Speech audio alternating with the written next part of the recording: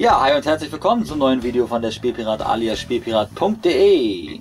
Wer es nicht getan hat, ich würde mich freuen über ein Abo. Ansonsten Daumen hoch und meine Stativ ist auch wieder in Ruhe. Ich habe heute Bastelstunde. Ja, ich habe mir gedacht, Mensch, Striker Stadium ist ja immer so spektakulär und ähm, natürlich die Nachteile auch der Arena. Und wir haben heute hier den äh, Cosmic Pegasus aus der Hasbro-Reihe gegen den Hasbro Race Striker. Beide in der Originalfassung hier. Wie wir sehen, habe ich mal wieder mit dem Stativ ein bisschen rumgekämpft und habe die Arena jetzt so von der Seite aus gefilmt. Und ich hoffe, dass es einfach eine spektakuläre Geschichte wird. Und äh, wenn nicht, naja, dann war es halt ein Video, wa? Ist ja auch nicht so schlimm. Und dann starten wir doch einfach mal in die erste Runde. In unserem Best of Five, versteht sich. Ja, und eine Seitenaufnahme. Ich hoffe, man kriegt die Bags auch komplett drauf und sich angreifen. Dass wir jetzt hier keine Schattenseiten haben. Ui.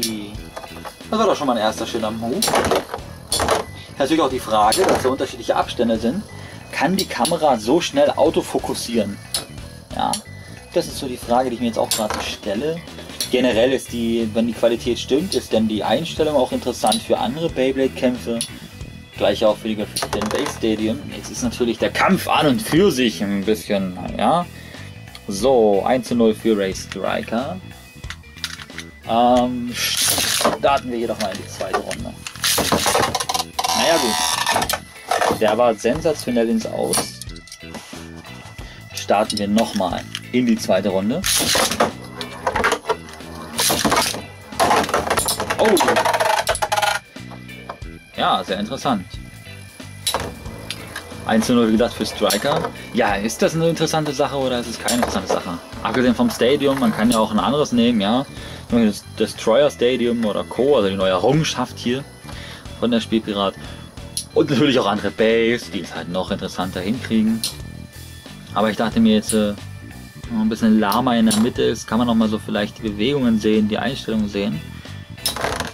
Ja, es ist ja auch auf jeden Fall schon 2 zu 0. Gibt Hoffen, dass das Video nicht allzu lange als Belastung in unseren Augen liegt. Und dann starten wir doch einfach mal in die sensationell dritte Runde mit eventueller ja, Zielführung.